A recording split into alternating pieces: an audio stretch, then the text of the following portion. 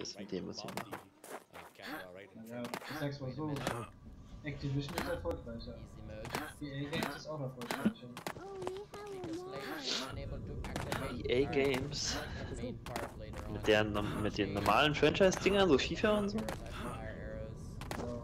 Ja, das ist aber auch ein leichtes Spiel, da müssen die, äh, keine Ahnung, da müssen die nicht viel für tun.